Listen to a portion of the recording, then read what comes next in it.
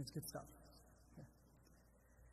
Okay, so let's begin. الرحمن الرحيم الحمد لله رب العالمين الصلاة والسلام على المبعوث رحمة للعالمين وعلى آله وأصحابه ومن تبعهم بإحسان إلى يوم الدين اللهم صل على محمد وعلى آل محمد كما صليت على إبراهيم وعلى آل إبراهيم إنك حميد مجيد اللهم بارك على محمد وعلى آل محمد كما باركت على إبراهيم وعلى آل إبراهيم إنك حميد مجيد As always, we begin by sending salah and salam on the Prophet sallallahu alaihi wasallam.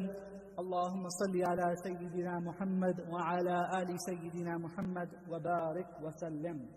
جزا الله عنا محمدا صلى الله عليه وسلم بما هو أهله اللهم صل وسلم أشرف الصلاة والتسليم على سيدنا ونبينا ومولانا محمد وعلى آله وصحبه أجمعين Alhamdulillah, Allah subhanahu wa ta'ala has allowed us once again to gather and He is allowing us to revisit the life of His beloved Habib sallallahu alayhi wasallam. And He is allowing us to beautify our tongues, our mouths, our kalam, our speech by the mention of our Master Muhammad sallallahu alayhi wasallam. As the poet said, that my words cannot praise Muhammad sallallahu alayhi wasallam. Rather, the mention and the praise of Muhammad sallallahu alayhi wasallam elevates the rank. It, it raises the level of my words. It beautifies my speech just by the mention of His beloved and blessed name sallallahu alayhi wasallam. Today, inshallah, we'll continue where we left off last time, and that was we went over the incident of the elephants. We went over the incident that occurred at the time of Rasulullah sallallahu alaihi wasallam's birth. It was in the same year as the birth of Nabi Kareem sallallahu alaihi wasallam, and that leads us to our topic today, and that is the birth of the Prophet sallallahu alaihi wasallam. The Prophet wasallam's birth as we have seen the, over the past few classes. His birth was the beginning of the play. The stage had been set, and now the curtain was about to be withdrawn. When you go to a play, you go to a stage and you see that there's a play going to occur and there's something that's about to happen. First, the stage is set, the mood is set, and then the curtain is withdrawn and you see what the whole play is about. The birth of the Prophet ﷺ was that withdrawing of the curtain. It was that presentation of what everything, all the preparation that had been done by Allah subhanahu wa ta'ala, all the work that had been placed, all the coincidences that we, as we would look at had, had fallen in place, how, how all the dominoes had fallen in the right exact moment, in the right exact place, in order for us to witness the birth of the Prophet wasallam. The birth of the Prophet wasallam was a momentous occasion. It was, as the poet Hassan bin Thabit said, it was that the day that Muhammad wasallam was born, that itself was a day when Allah subhanahu wa ta'ala completed His favors on this world. His birth itself was a completion of the favors of Allah on humanity, on mankind. But in order for us to understand and appreciate the birth of the Prophet ﷺ, it's important that we learn a little bit about his parents as well. First and foremost, right, we have a couple opportunities here to earn some lollipops. This is for sorry, the younger guys. Right? So I know, Aston Uncle, you're looking forward to a lollipop, but uh, this is, this is only for the younger folks. Younger heart, right? Younger heart.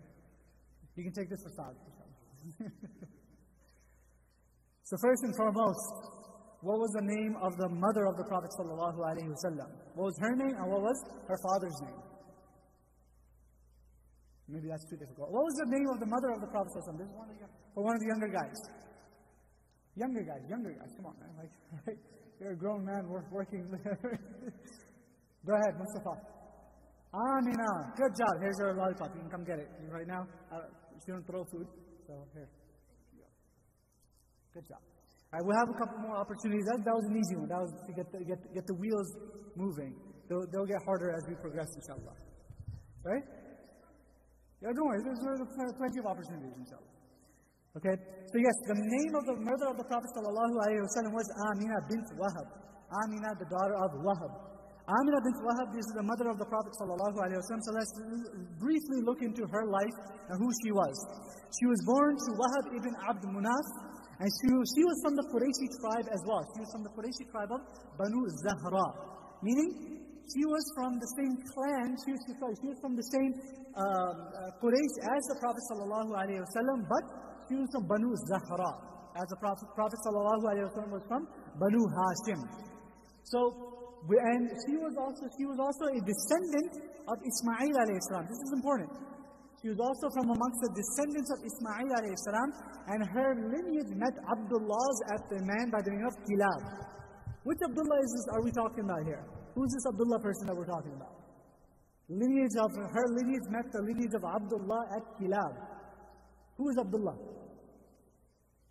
Another opportunity. Which Abdullah are we talking about here? The father of the Prophet sallallahu alaihi wasallam. Okay? The father of the Prophet sallallahu alaihi wasallam. Remember, the Prophet sallallahu alaihi wasallam's parents' name was Amina, was his mother's name, and his father's name was Abdullah.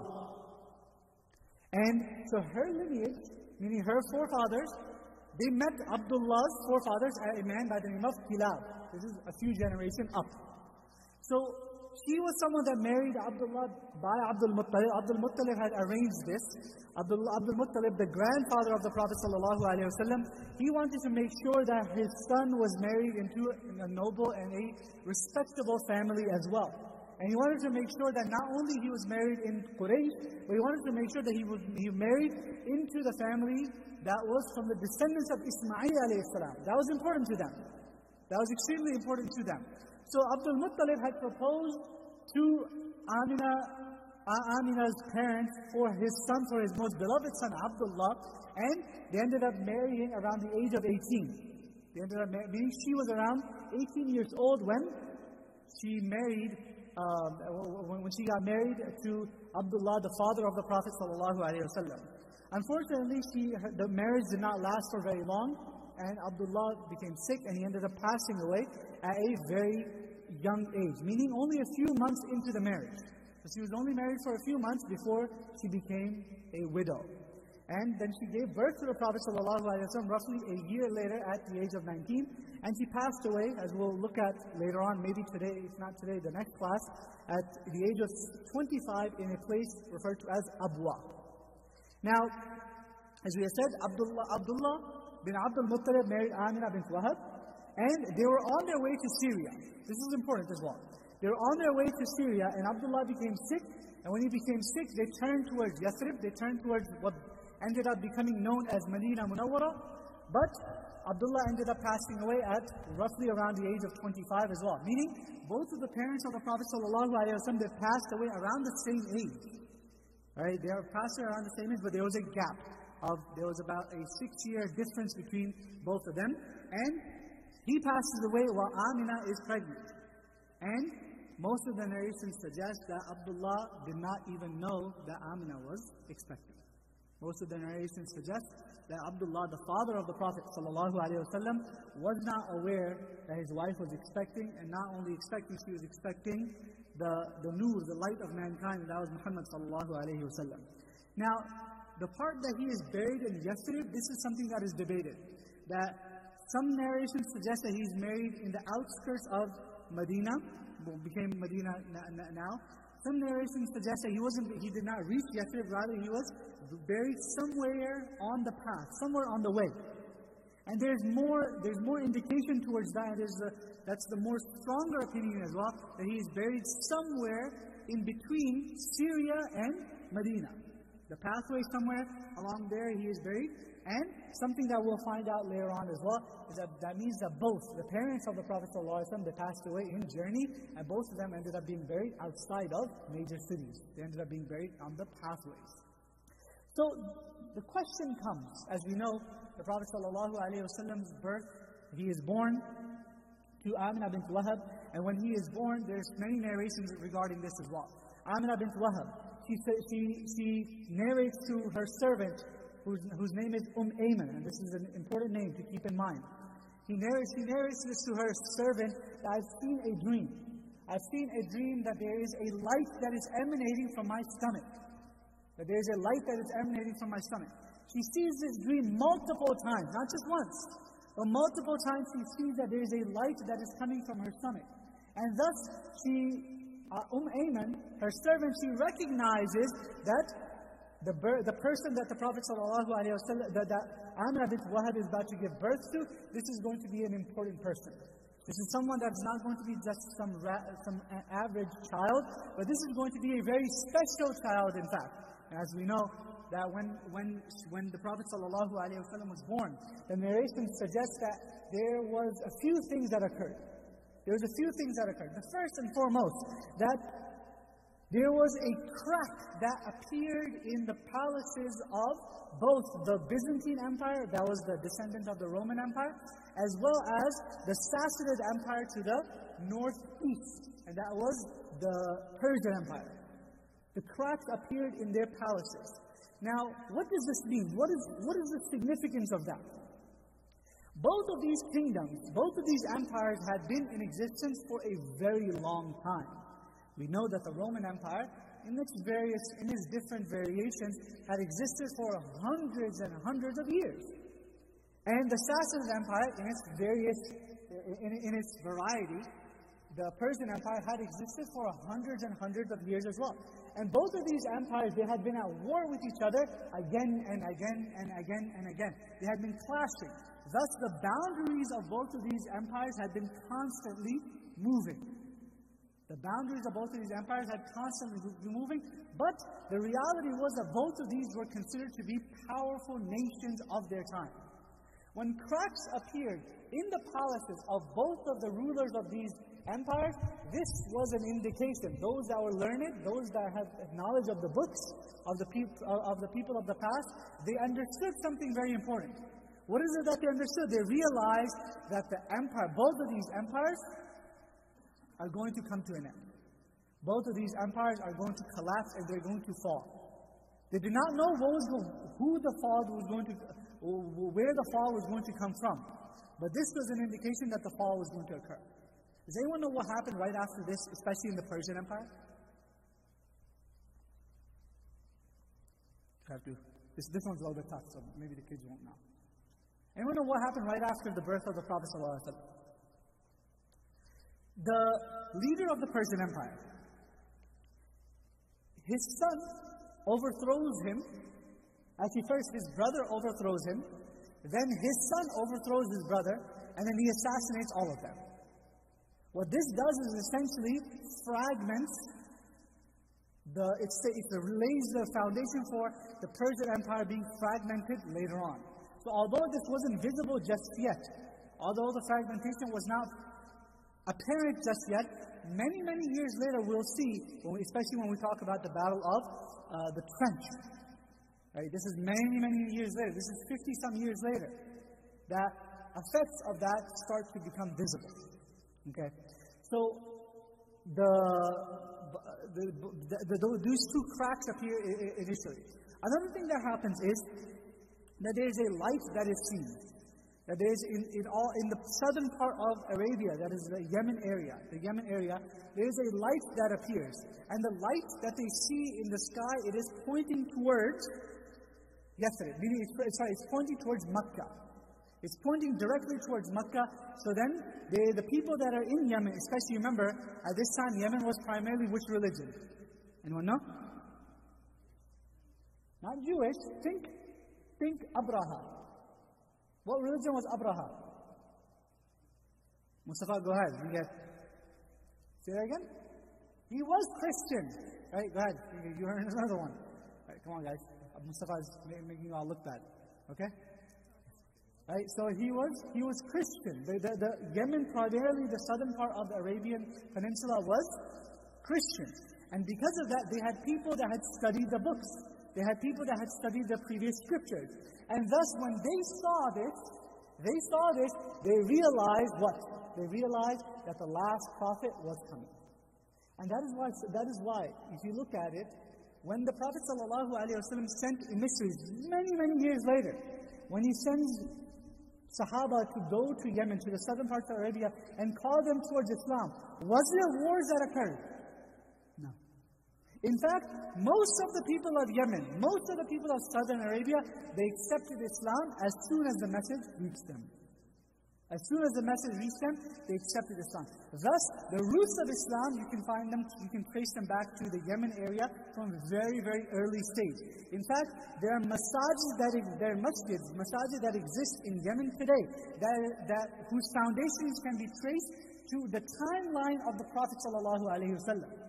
Meaning, there were masajid that were established at the same time as the Prophet ﷺ was still alive. So you can see that, and this is based, this is based on, this is based on the religion that primarily, there's other religions as well, but the primary religion was of, of, of Christians at that time, and this was, this was affected by Ethiopia. Remember Ethiopia and the southern part of Yemen, they're very close, and Ethiopia was, Abyssinia, Abyssinia was uh, Christian, and thus the southern part of, uh, of Arabia, which is Yemen, was also Christian. But soon after the birth of the Prophet sallallahu alaihi wasallam, uh, we know that he is uh, just a few years later. The mother of the Prophet sallallahu alaihi wasallam passes away as well, which we will get to in more detail. This brings up a very important aqidah question, a, a, question of um, uh, a, a, of debate, and that is that what is the result? What, how, what do we look at when it comes to the parents of the Prophet sallallahu alaihi wasallam? Because they were not alive when he received nubuwah. They were not alive when he received prophethood. Right?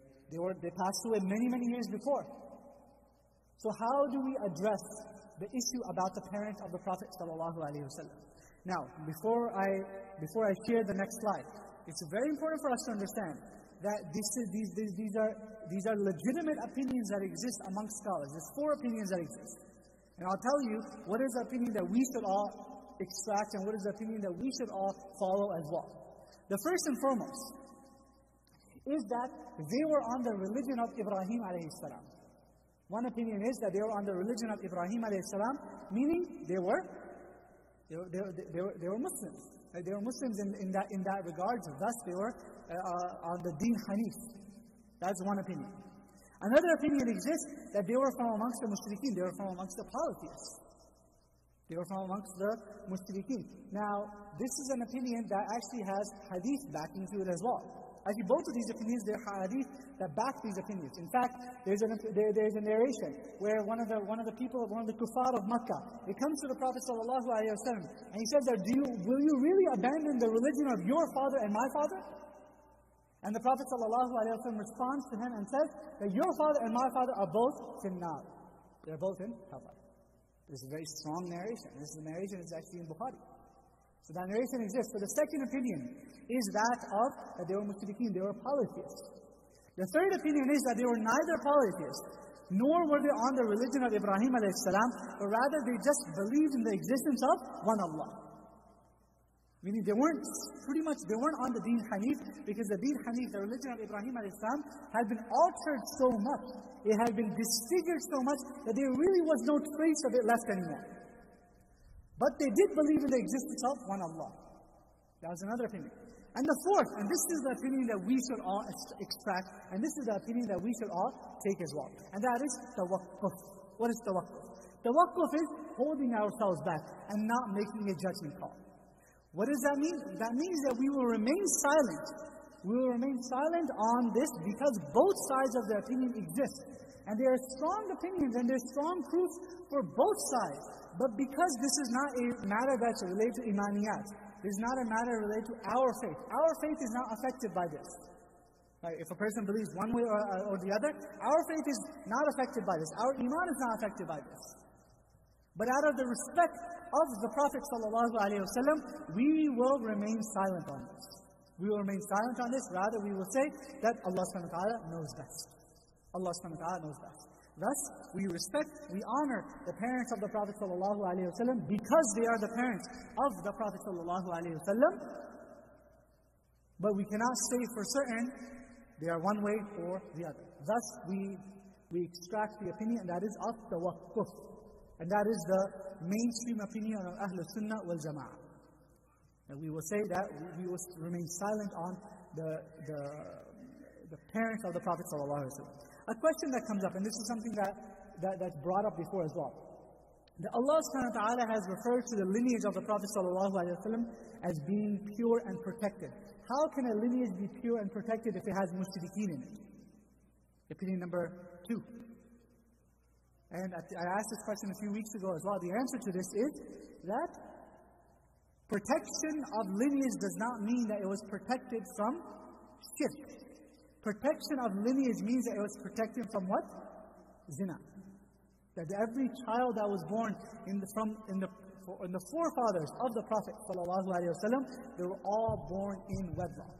They were all born through marriage. None of them was born outside of marriage. That is what it means, protection of lineage. How do we know this? Because when you say the name of a person, who is the lineage established through? The father. And we know the fathers of the Prophet ﷺ all the way up. Thus, we know that the lineage of the Prophet ﷺ is protected in that regard. That's what that means. Now, let's talk a little bit about the birth of the Prophet sallallahu alaihi wasallam. We can categorize this into two different ways. The first is that there's some, there's certain things about the birth of the Prophet wasallam that there's no difference of opinion. No difference of opinion. What are those? Let's, let's count out. There's three of those actually. What's one thing there is no difference of opinion on about related to the birth of the Prophet wasallam? Anyone know?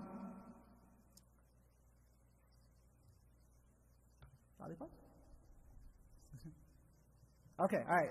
First and foremost, was that the Prophet ﷺ was born on a Monday. No difference of opinion. Everyone agrees that the Prophet ﷺ was born on a Monday. Okay, that's the first thing. The second thing is that he was born in Makkah Mukarramah. No debate on that. No question about that. The Prophet ﷺ was in fact born in Makkah Mukarramah. And number three, is that he was, there's really no legitimate different, difference of opinion, is that he was born in the year of the elephant. And that is the primary opinion as well. So the first categorization is of those things that there is no difference of opinion on, is when, the, these three things, and that's about it. When the day that the Prophet ﷺ was born, that is Monday. The city that he was born in, that's he was in Makkah, right? And then the year that he was born in, and that was the year of the elephant. Everything else that's related to the birth of the Prophet ﷺ, that means talking about the exact location, the date, uh, and even the month. That is all. There is some question, there is some debate regarding that as well. So let's start from the top. Which month was the Prophet ﷺ born in? Go ahead. No, month, month. Yes. You don't know? Go ahead. Rabiul Awwal. Go ahead. Lollipop. Okay. Sorry, Mustafa, I don't think I can give you any more. Your dad's going to throw me out of the window if I give you more lollipop at night time. maybe your brother. Okay? So, yes, the first thing is, first opinion is that the Prophet ﷺ was born in Rabiul Awwal. And this is the majority opinion, and this is a strong opinion as well. But there is another opinion that exists. The other opinion is that the Prophet ﷺ was not born in Rabiul Awwal, but rather he was born in the month of Ramadan. Right? That's another opinion, but that is a uh, opinion, that is not the preponderant opinion. So Rabiul Awwal, that's the first. The second is, what about the date of the birth? What was the date that the Prophet ﷺ was born on? This is someone, this is a question that there's actually multiple narrations uh, regarding this, and we'll see where that comes from as well. So what was the date of the birth of the Prophet ﷺ? Go ahead. No, no, date and not the year. Not year, and not the Gregorian. It's good five, good job. But date as in like, you know, one, two, three, four, like that. Like that. No, no, not like 22, like 20, like 22 January. Okay? Uh, who's Aris? Go ahead, Aris, you have a chance for this. 12th is one of the dates. Yes, 12th is one of the dates. But that is not the most, that's not the strongest date, by the way. Okay, from based on proof, based on, uh, you're welcome right? Based on proofs and based off of, um, you know, thubut, that is not the strongest opinion. What is the other opinion? Anyone know? Sorry? Nine as well. Lollipop butt. Okay. Nine is another one. What's another one? Let's, let's, let's do one more. Go ahead. There, is no 71 days in, in a year, my friend. In a month, my friend. A good try. Go ahead. 30 days in each month, but that's not one of the days. Okay? Yes. There are multiple dates. There are multiple dates regarding the birth of the Prophet. There is narrations that suggest he was born on the 2nd of Rabiul Awal. There's narration that suggests he was born on the 9th. Others that say 10th, some say 17th, some say 12th, some say 17th, and some say 22nd. There's many narrations regarding this. Now, what is the most famous one? And that is the 12th. That's the one that became famous. Right? It became famous that the Prophet ﷺ was born on the, uh, uh, on the uh, 12th of Rabiul Awal. That's the most famous one, but that is not the most authentic one. The most authentic opinion is that he was born actually on the 9th of Rabiul Awal. The most authentic opinion is that he was born on the 9th, but it was the, the, the one that sort of became famous was that he was born on the 12th of Rabiul Awal. Anyone know why the 12th of Rabiul Awal became famous? That's actually the date of his passing. That is actually the date of the passing of the Prophet So people assume that the passing and the birth of the Prophet happened on the same date. That is one opinion, but the passing of the Prophet occurred on the 12th of Rabiul Awwal. And that's where sort of the, the, the, the question comes to be. Now, where was a, where is the, what is the location of the Prophet's birth? As we know, it was in Makkah Mukarramah. The city is Makkah. Where was some suggestion? Some suggested there was a house near Mount Safa. I remember when you're doing Sa'i, it's between Safa to Marwa and Safa, right? And so some suggest there was a house near Safa, that's where he was born. Others suggest it was a house in the neighborhood of Banu Hashim. Where was the neighborhood of Banu Hashim? The neighborhood of Banu Hashim was on the right side of Marwa. So you have Safa, then you have Marwa, and the neighborhood of Banu Hashim was towards the right side of of, um, of Marwa. So if you look at it from a modern sort of geographical uh, place, that is, this is an older image. This is an older satellite image. That that is roughly the place where the birth of the Prophet sallallahu alaihi That's the area that the birth, where the Prophet sallallahu alaihi wasallam was born. So you can see where's Safa. Where's Safa? Safa is that dome on the bottom. Right? That dome, that little, that round um, on the middle of the screen, the round brown dome, that's the Safa. Marwa is up top. So the, the, neighborhood of Banu Hashim was to the right of, of Marwa, and that's where roughly, roughly in, in that area. This is a picture of it, what it used to look like a few years ago. Right, what it used to look like a few years ago. If you look to the top left, if you look to the top left, what do you see? You see that that is the entrance of the Haram. That's the Masjid al-Haram. You can see uh, the, the walkway into Marwa that's, that, that's there as well. And that's that, that little, uh, that little, that little uh, building you see, that was the house where the Prophet ﷺ was born. It was demolished and then there was a library was built. Then it was demolished again and another building was built in that uh, location. In fact, there was a time where there was a masjid that used to exist. If you look at some of the older pictures, if you look at some of the very old pictures, this is a picture that you can find in the library of um, Princeton University. Princeton University's library has this. If you look at the bottom, in the writing, it's handwritten. What does it say? Mawdi' al-walad al-nabawi al-sharif. That is the, the space of the, uh, of the wilada, the birth of the Prophet sallallahu alaihi wasallam. Right? And there's, you see that there's a little dome there as well, meaning that there was a masjid that was there. There's a masjid that existed, but that masjid was demolished. Right? That masjid was demolished in the 1950s. The masjid was demolished in the 1950s, and then a, um, a, uh, uh, a book, uh, so a library was built in that spot, and then that library was demolished, and then a, another structure was built, a small little, um, uh, like a, uh, it, it, it, was dealing with books and like pamphlets and that kind of stuff, and then I believe that has been demolished once again. Last, this is a picture that was taken from the last time that the, uh, last time it was seen upright. No, it, it's from the latest um, discovery. It does not look like it seems it does not it seem to be a, there anymore. And if you can see, it's been blocked off a little bit from the sides over there as well, so that you can't really enter it anymore. But that's where the birth of the Prophet wasallam took place. That area in Makkah Mukarramah. Now, a question that comes up, and this is something that's, that's brought up many times as well, is that is it permissible to celebrate the birth of the Prophet sallallahu alaihi wasallam? Now this is, a, this is an important question that we need to all understand, because this is a, there's a reason why there's very, very strong opinions that exist on both sides. And let's understand why those exist as well. On one side, you have, you have a group that suggests that celebrating the birth of the Prophet ﷺ is a must that every believer should do. If a person does not do it, they are wrong. They do not love the Prophet ﷺ. They are what we call gustakh Rasul. Right? They, are, they, they have uh, dishonored the Prophet ﷺ. That's one extreme. You have another extreme that say that completely celebrating the birth of the Prophet is haram. Anyone that does it, they are, they are a mubtadi, meaning they are, they are committing bid'ah, and they are no longer, some even say that they are no longer in the folds of Islam anymore. Extremes. It's important to understand where these extremes came from. Where these extremes came from. The, where, the, the origin of these extremes is that the birth of the Prophet was not celebrated in the earlier days of Islam.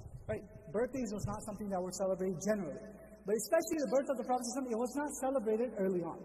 What ended up happening was that as the years progressed, as the years progressed, some of the ulama, they saw that the people were getting more and more distant from the Prophet. Thus, they began to formulate that maybe we should do something to reconnect everyone to the Prophet. So they started to hold these gatherings, what we call the Mawlid or the Milad, where they would come together, where they would recite salawat on the Prophet sallallahu and they would talk and they would learn about the seerah of the Prophet sallallahu in a similar fashion like we're doing today. That's where it began. But what ended up happening was that as the years progressed, as the years progressed, people started to add more and more things into it. As that practice began to go into different parts of the Muslim world, people started to add different practices to it people started to add, okay, you have to have food into it.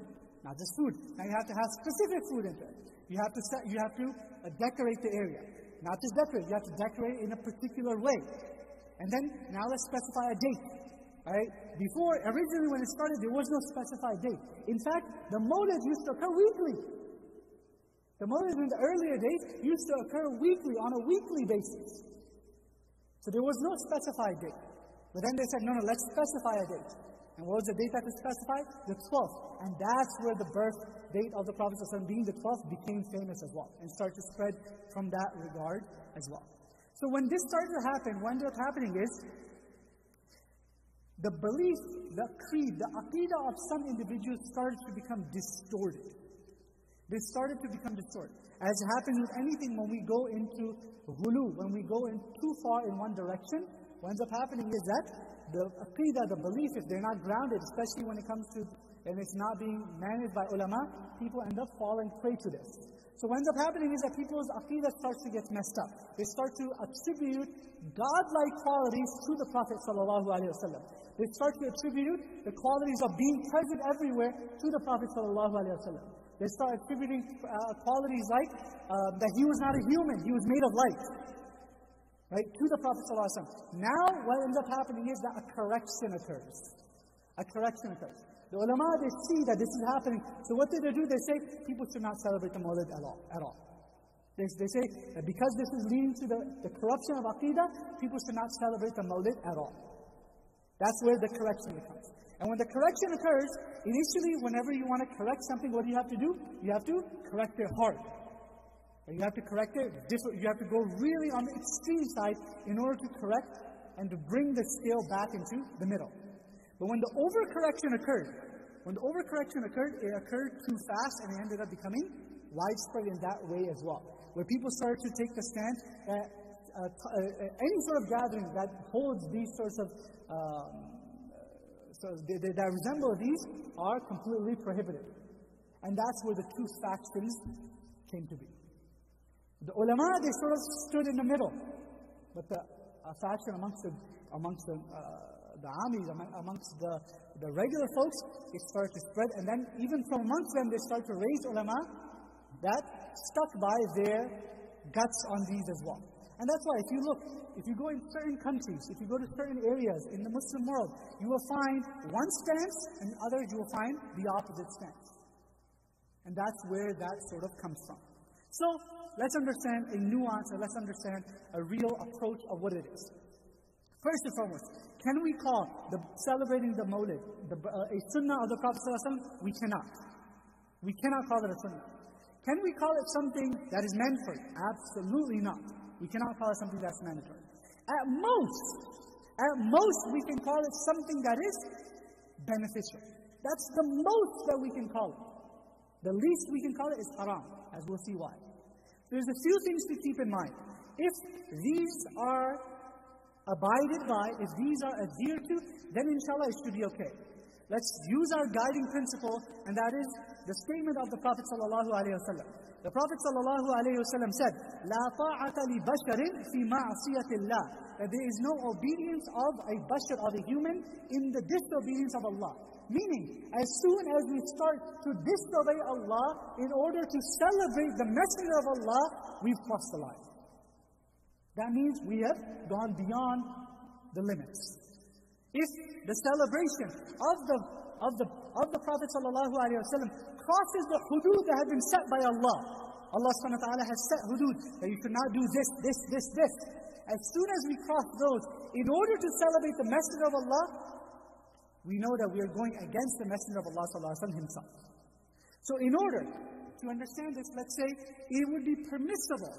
It would be permissible to celebrate the birth of the Prophet Sallallahu meaning it would be permissible to celebrate the moment of the Prophet Sallallahu if certain criteria is met. Number one, that there are no impermissible actions that exist in the gathering. Meaning it's not, it is not a mixed gathering, it is, it is not a gathering where everyone's like, um, you know, coming together and it's like a kumbaya circle. That's not, that's not what it's supposed to be. Okay, there has to be some, the rules of the Sharia have to be taken into precedence. There cannot be any music.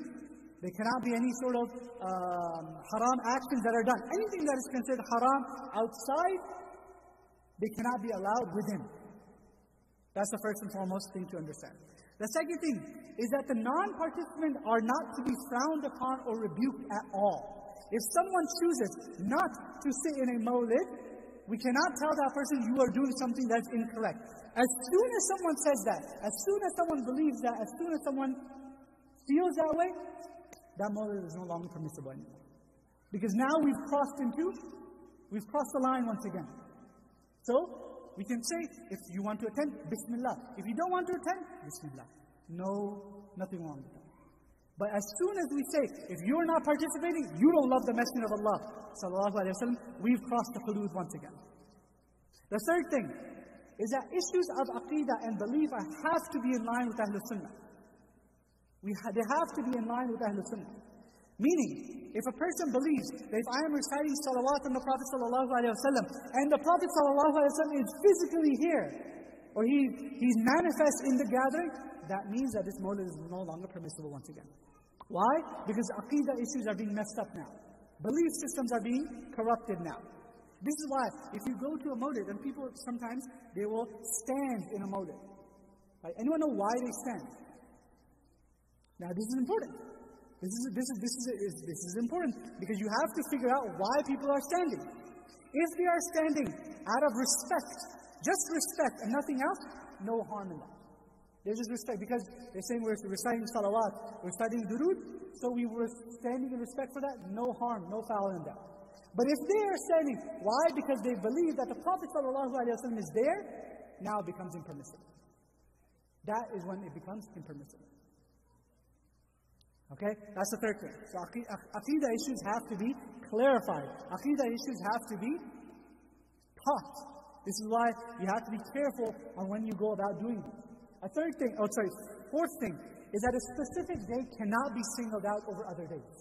A specific day cannot be singled out over other days because once again, now we are introducing something that does not exist, that does not belong in the Sharia. So if we say we are only going to do it on the 12th of Rabiul Awwal, now once again we have crossed the line once again. And last thing got cut off over there, and that is that there has to be some sort of benefit to it as well. Meaning you're learning the seerah, you're reciting salawat, Right? There has to be some benefit to it as well. If these guidelines are adhered to, if these guidelines are followed, then there is then it is permissible, and at most we can say it will be beneficial. But can we say it's sunnah? Absolutely not. Right? This is, this is a really important point. A very important point that we must understand in order to, uh, in regards to the birth of the Prophet sallallahu alaihi wasallam. Now it comes to after the Prophet sallallahu alaihi wasallam is born. What is the sunnah of when someone is born? What do you do? You do an aqiqah, right? There's an aqiqah that is that, that should be done, and this actually occurred for the Prophet sallallahu alaihi wasallam as well. The aqiqah of the Prophet ﷺ occurred on the seventh day after the birth of the Prophet ﷺ. And Abdul Muttalib, the grandfather of the Prophet ﷺ, he slaughtered an animal, he slaughtered an animal and he held a feast for Quraysh. He held a feast for Quraysh. Okay. I think you just have to zoom out a little bit. That's all it is. Okay, that's fine. But yeah. So the, the Abdul Muttalib, the grandfather of the Prophet ﷺ, he held a feast for Quraysh, and that is where the beginnings of Aqiqah are. And that's why when the Prophet ﷺ became a prophet as well, the Prophet ﷺ held on to that. And he established that as well as being part of his sunnah. And it is on that day that Rasulullah ﷺ was named Muhammad. And that is why the sunnah of naming, the, naming your child, it is sunnah to name your child on the seventh day. That's why it's, it's sunnah to name the child on the seventh day. Now, typically it's difficult for us to do it here because we have to sign paperwork and whatnot at the hospital, right? Um, otherwise, they just, uh, what, is the, what is the default name? Um, I forget what the default name is. Otherwise, they give, oh yeah, they say baby boy. That's it. Baby boy or ba- baby girl. So, but it is sunnah to, uh, uh, to call, give the name on the seventh day. But the way that we can still abide by the sunnah is that you can give, you can decide on the name beforehand. You can write it on the paperwork, but then announce it on the seventh day. Announce it on the seventh day. That, that, in that way, we can fulfill the sunnah of Rasulullah sallallahu alaihi wasallam as well. In the early days, in the early childhood of the Prophet sallallahu alaihi wasallam, his mother Amina, she fed him milk for only a few days. She only fed, fed, fed milk to the Prophet ﷺ for a few days, and after that, Thuwayba, the servant of Abu Lahab, she fed him milk after that. Thuwayba was the woman that came to Abu Lahab. Remember Abu Lahab? He was the uncle of the Prophet ﷺ. He was the brother of the Prophet ﷺ's father. So, Thuwayba was, uh, she was the one that came to Abu Lahab and informed him that your, you have a, um, a, a, your son, sorry, your brother Abdullah has had a son. And he became so happy that he freed Thuwayba. He freed Thuwayba, and Thuwayba then went in the service of the Prophet ﷺ, and she fed him milk as well. After that, Halima Sa'adiyya radiallahu ta'ala anha, she nursed the Prophet ﷺ, and this, we'll talk a little bit about that as well. Now, what was the custom of, of, of that time? The custom of the time was that especially those that were the noble people that of, of noble families, noble descent, noble families, they wanted to make sure that their children were protected from two things. What were those two things that they wanted to protect their babies from? Anyone know? Why they would send them out? Sickness. I'm sorry, I can't give you another one. Your dad's gonna. sickness and what else? Good, Ramadan? Sorry? Culture and language. Good. You can get it now or later. So, culture, that's part, part of that is language. And the second was the sickness. Remember, Makkah was, we looked at the, the, the map that we looked at last class, is that Makkah was on the trading route between Yemen and Syria. As well as from Ethiopia, there would be caravans that would come, they would cross the sea, and then they would cross the, uh, the narrow sea there, and they would go all the way up to Syria from Makkah. And Makkah was situated in there. What happens in a city like that? What happens in a city like that? There is many different people that are coming from different parts of the world. Thus, there's going to be disease. There's going to be disease that comes with that as well. On top of the disease, there is the language gets altered perfect example of this is you go to New York, right? I remember in eighth grade, uh, in eighth grade, I had, a, I had a, my language arts teacher, Mrs. Rogers, right? Is, that's her actual, actual name. And Mrs. Rogers was my eighth grade teacher in English, my language arts. And she was from, she was from Brooklyn, right? So she, when she used to pronounce her name, she would say, I'm Mrs. Rogers. right? Mrs. Waters. So I remember when my mom went for my parent teacher conference, right? My mom, you know, she, she doesn't speak English that well, but she can understand it. So when she went and she, you know, met uh, Mrs. Rogers and stuff, she came home and she's like, yeah, you know, Mrs. Mrs. Rogers with a W, right, was saying this, this, this about you. So when she was writing a letter, she wrote it with W L D G E R S because that's how she spoke. And there's a lot of times when she would teach us, we wouldn't understand some words that she was saying because it's not that she was speaking another language; it was English, right? But it was it, it was because she was from Brooklyn, because you know, the, uh, and a big city, the, the the accent gets altered as well. Same thing would happen in Makkah. Same exact thing would happen in Makkah. Perfect example of this is go into anywhere in the Arab world today. I go into anywhere in the Arab world, any uh, part of the Arab world today. Every place has its unique, unique way of see, saying things. For example, I'll give you an example. Umar, I'm going to call you, put you on the spot real quick. All right? Umar, what do you call this? This building?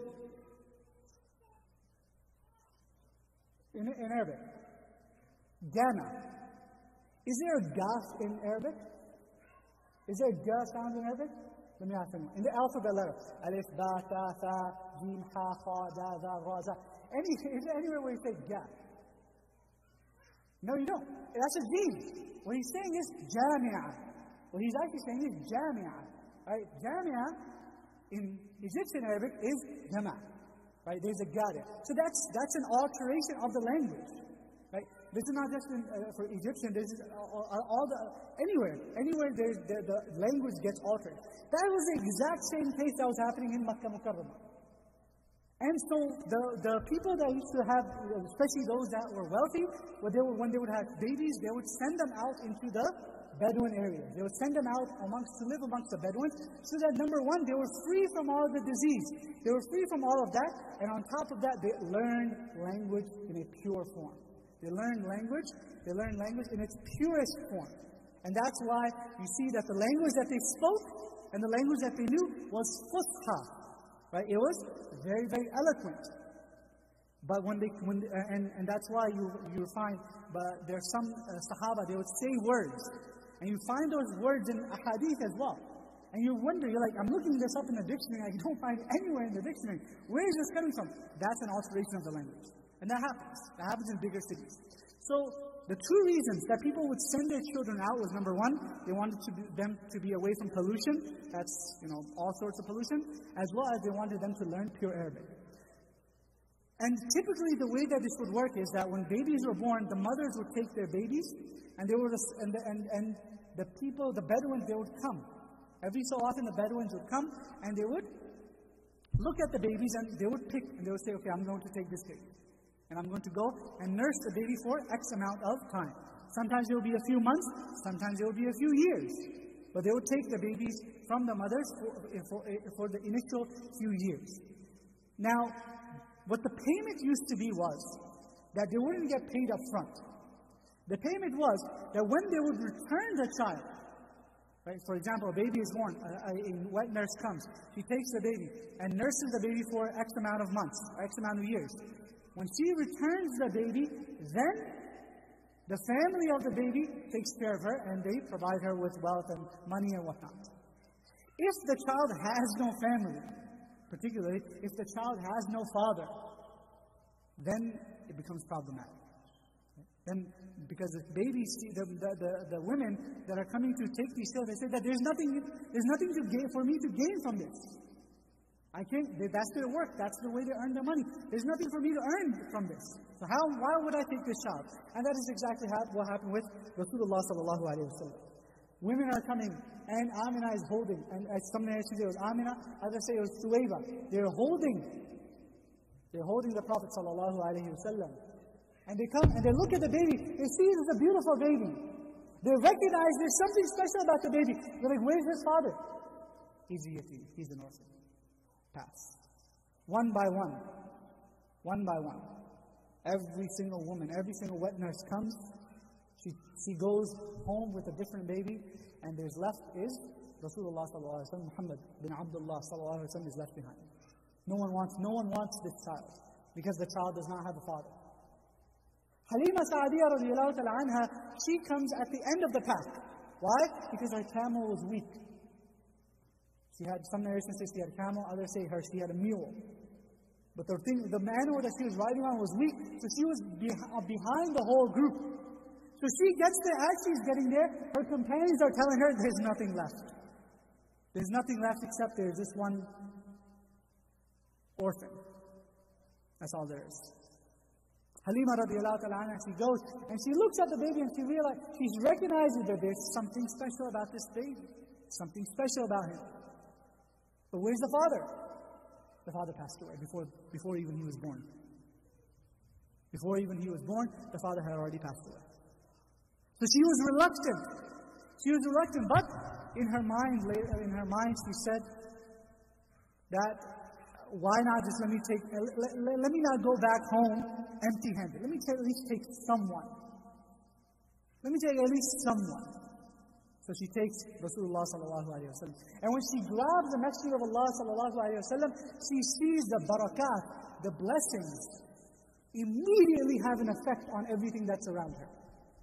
One thing to keep in mind is that the Prophet wa even before when he was, a, even before prophethood, there is tabarruk, there is, there, is barakah, there is blessings with everything that was related to him.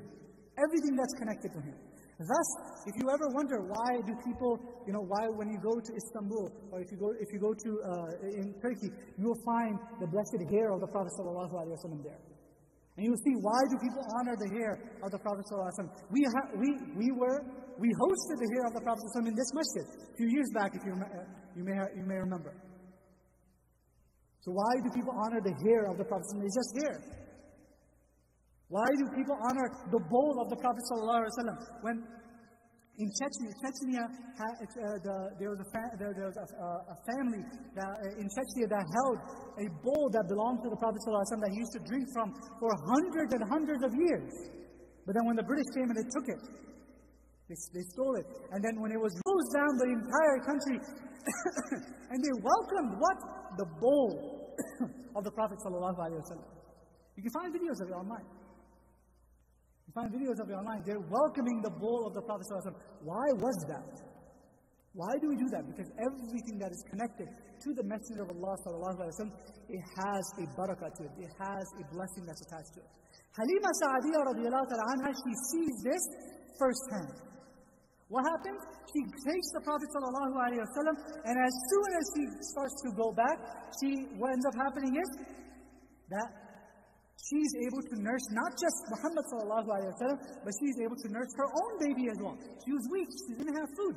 In order for a mother to be able to nurse, she needs to be she needs to eat, and she needs to eat uh, well. Otherwise, she uh, has a very difficult time being able to nurse. So suddenly, she has milk to feed not just one child, but both children. On top of that, the, the, the, the, animal that she's on, suddenly it's faster than anyone else. The camels that they had back at home, they're full of milk. The goats that they had back home, they're full of milk. The land that they were tilling, that they were farming on, suddenly, in just a very short span of time, it's starting to sprout. And she recognizes what's the one thing that has changed. She recognizes this. Right, this is what Allah subhanahu wa ta'ala talks about. That ayat, right? Signs. That ulil absar, ulil absar, so the people that have eyes. Who are the people that have eyes? It's not the people that have eyes, it's the eyes of the heart.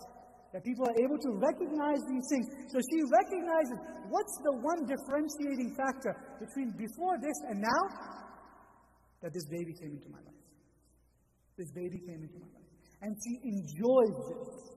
She enjoys this time for two full years, and that was her initial contract.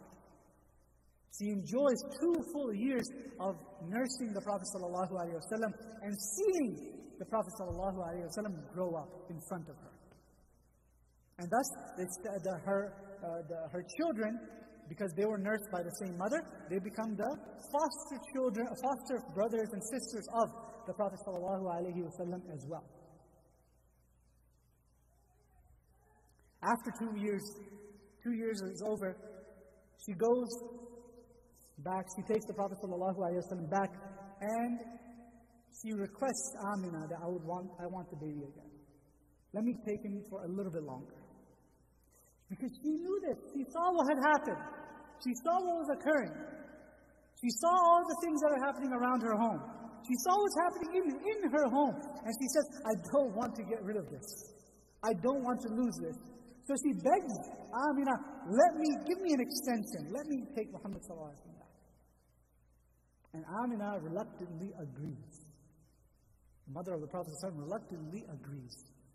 And Halima radiallahu ta'ala anha, she takes the Prophet sallallahu alayhi wa back, but this time she only takes him back for a very short period. Although the contract was for much longer, she only this time she only takes him back for a short period of time, and we'll learn why later on. So we talked about why raised, why, why raised uh, amongst the Bedouins, because two reasons. Number one, away from pollution, and second was to learn pure Arabic. Now let's, let's briefly go over who Halima radiallahu ta'ala anha was as well. Her name is Halima bint Abu Dhu'ayb. She was the third nurse, third person to nurse the Prophet sallallahu alaihi wasallam. Meaning, the first was who? Amina. The second was Thuwayba. And the third was Halima radiallahu He was the third person to uh, nurse the Prophet sallallahu alaihi wasallam, and she developed a foster relationship with the Prophet and her children. Meaning, in Islam, when a child, when two unrelated children, they drink, as long as they're under the age of two, they drink from the same mother, then they become mahrams for each other, meaning they cannot marry each other anymore. Right? And this is something that we have to be very mindful of. Sometimes there's, there's carelessness that takes place, and it can cause problems later on. I'll tell you a case scenario, case study that occurred not too long ago, where there's a family. There, there was a family that they were family friends. They used to live together long, long time ago. When they all immigrated together to America, they used to live together. And when they lived together, you know, one of them had a, one, of them had a, a child and they had a child, and the mother, uh, you know, they, they, they were a little bit careless in who fed, nursed the child, meaning from themselves. Go fast forward 25, 30 years. Their family friends, okay, let's get this child married to this child. They get married. They have children. They have a few children. And they find out later on that they both, the husband and the wife, had been fed milk from the same mother. And nikah never took place. That nikah was invalid from the, very, from the get-go because it was as if they were brother and sister. This is something we have to be very, very careful about. Something that we have to be very mindful of, mindful about as well.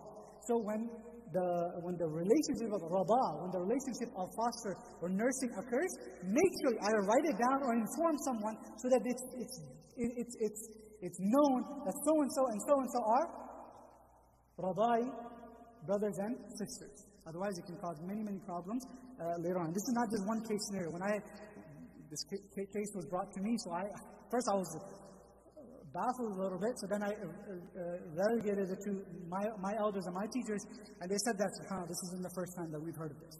This happened before as well. So something to be mindful about. Anyways, so because of that, she had she had children. Halima radiallahu anha had children, and thus uh, her children became the foster brother and sister of the Prophet sallallahu alaihi wasallam. Now there is a little bit of a difference of opinion of whether she accepted Islam or not. Right? Uh, Ibn al-Qayyim alayhi does tawakkuf. As we, we talked about what tawakkuf was, he remained silent. But there is, there is strong indication that she was a Muslim. She did accept Islam. What is that strong indication? Is that after the Battle of Hunayn took place, after the Battle of Hunayn took, place, there is a woman by the name of Shayma bint al-Harith that comes and uh, uh that, that, that, the, that Prophet is informed about that she had been captured in, that, in the Battle of Hunayn.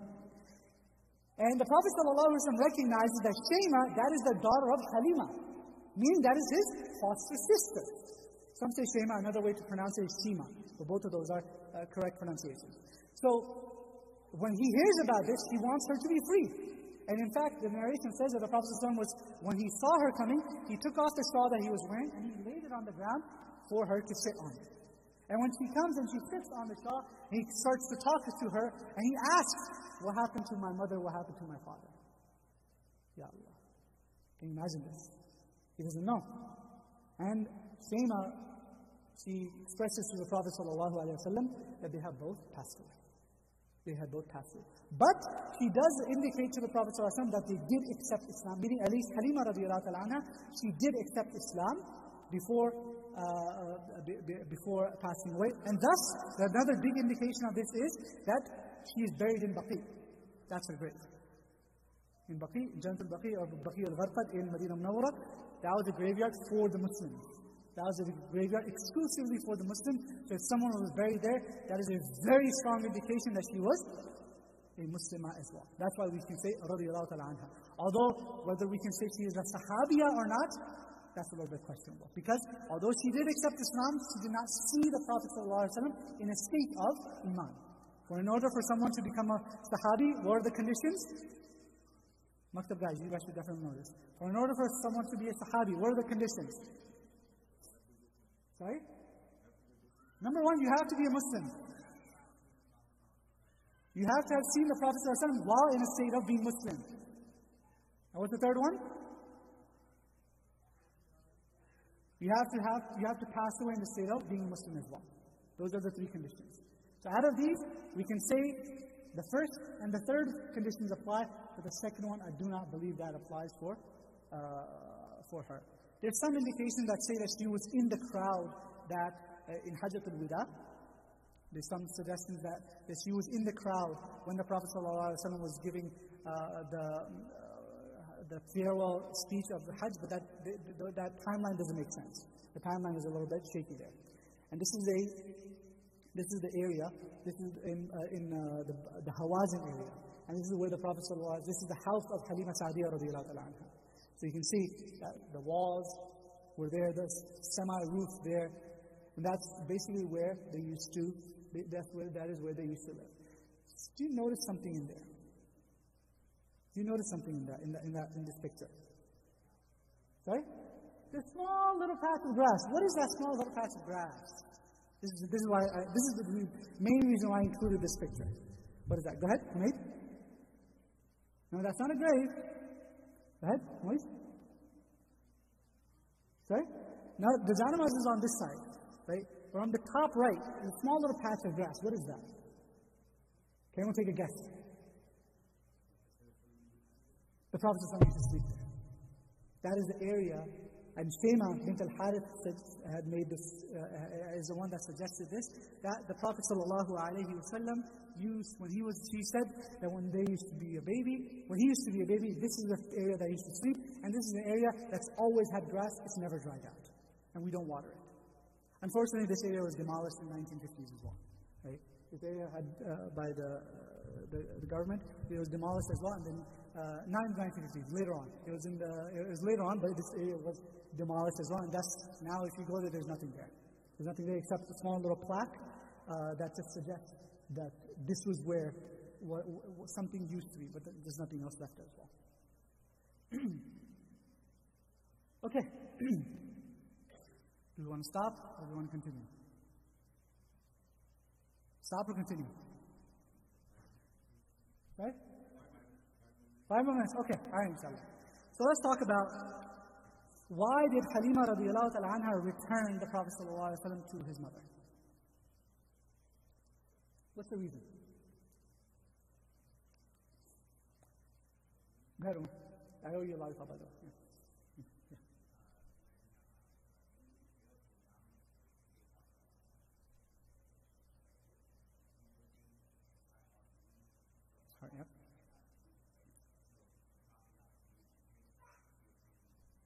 Right. Now imagine this. Imagine this. You know, we, we ask the people that take care of kids, right? maktab and Muslim camp and whatnot. you have to be very careful with kids, especially if it's not your own kids. Your own kids, is not a big deal. Right? Imagine this. You're teaching a class, or ha- you're, you're babysitting, and your kid comes running into the home and says, Baba, Baba, Mama, Mama, our brother over there, or so and so, someone came, threw him on the ground, cut his chest open. Right? What would you think at that moment? What would you do at that moment? That's exactly what happened. The splitting of the chest of the Prophet The splitting of the chest was a miracle of the Prophet that occurred even before his prophethood. The splitting of the chest, when that occurred in the presence of Halima anha, meaning that occurred in the house of her, in her house, she was taken aback. She realized, okay, this is, this is dangerous. This is something, something's happening over here. I don't want to be. I, I don't, I, I'm scared. Because what happens is that her, the Prophet ﷺ is playing out with her son and with her daughter. And suddenly her son runs back and he says, Our Hashimi brother, someone came and I threw our Hashimi brother on the ground. He cut his chest open, took his heart out, and then put it back in. Remember, this is out in the desert. This is out in the Bedouins. This is something that could have happened. Halima radiallahu she runs to go and see what's happening, and she sees the Prophet sallallahu alayhi wa he's fine. But his face is, the color of his face is completely changed. Something's completely altered. And that's when she decides that, you know what, I'm going to go and return him back to his mother. Now, splitting of the chest, the splitting of the chest, let's briefly talk about that. The splitting of the chest of the Prophet ﷺ occurred four times.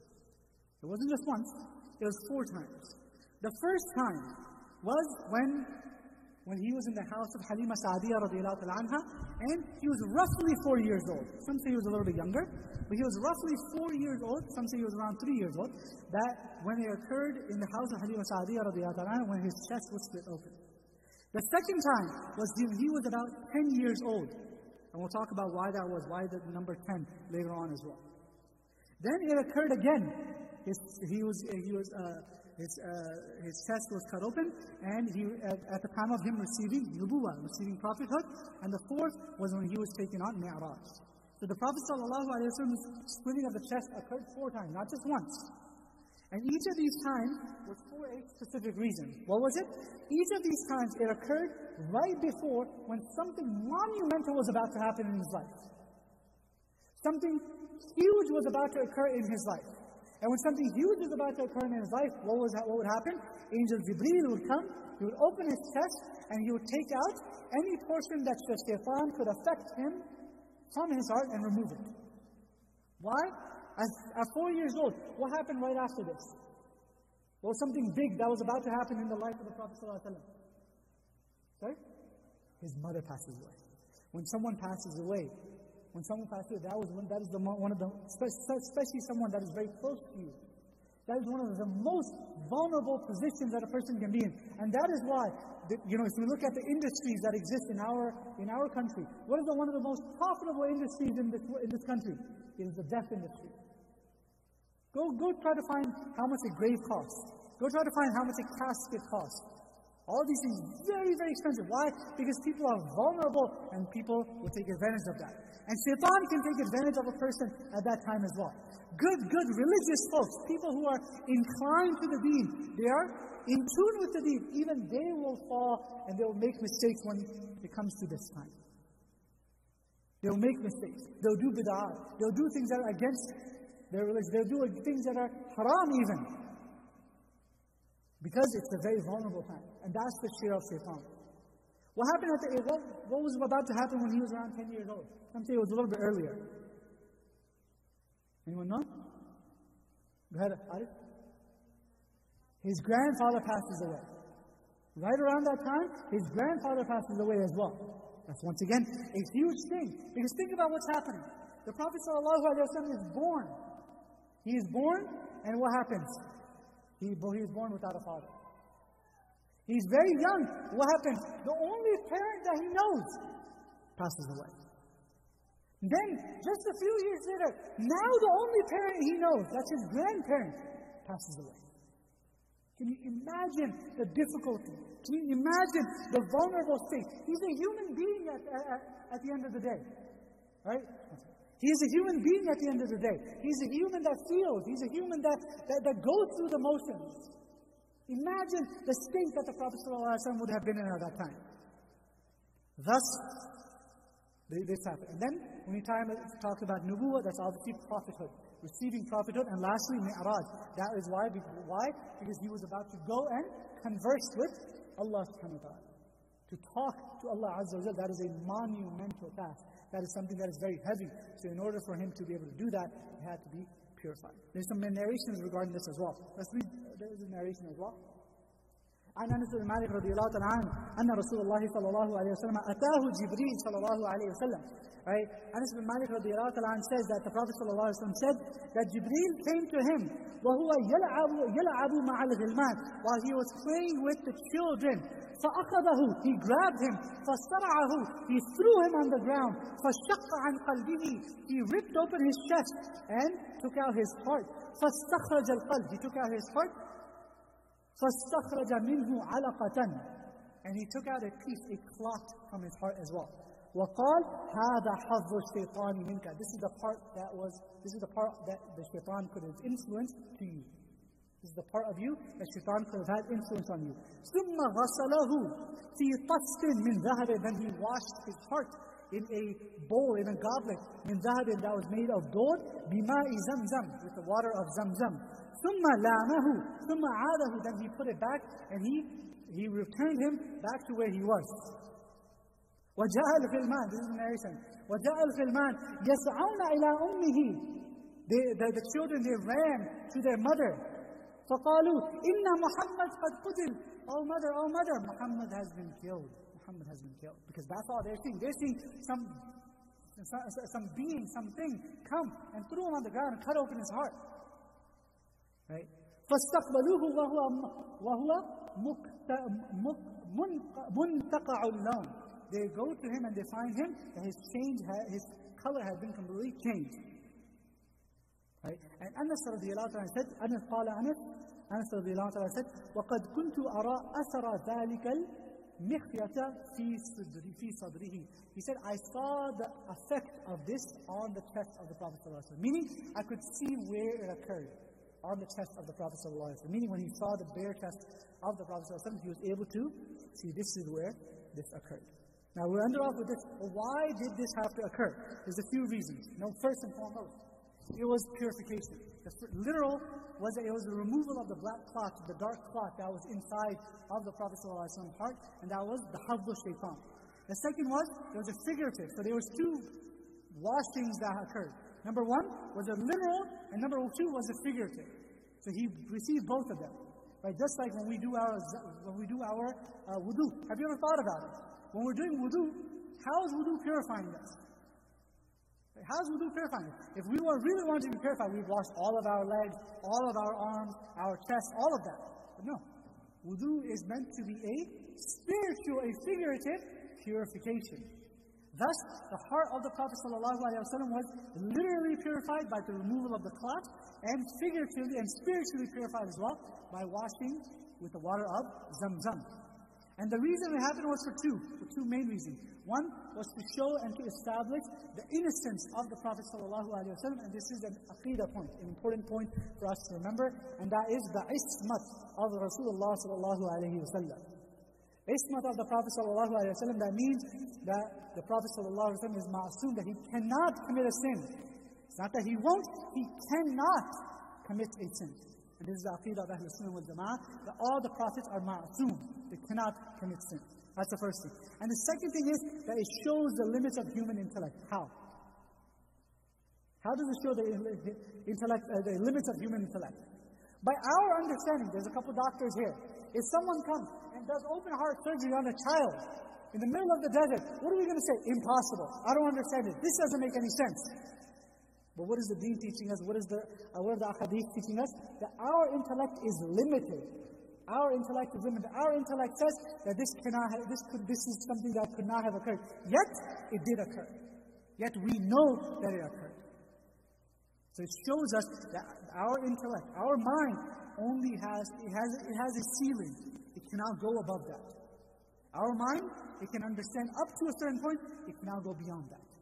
And that's what Allah subhanahu wa ta'ala is showing us through this as well. This is the beauty of Rasulullah sallallahu alayhi wa Every single aspect of his life, even before nubuwwah, there's lessons in it for us. There's things that we can learn from it. There's things that are applicable to us.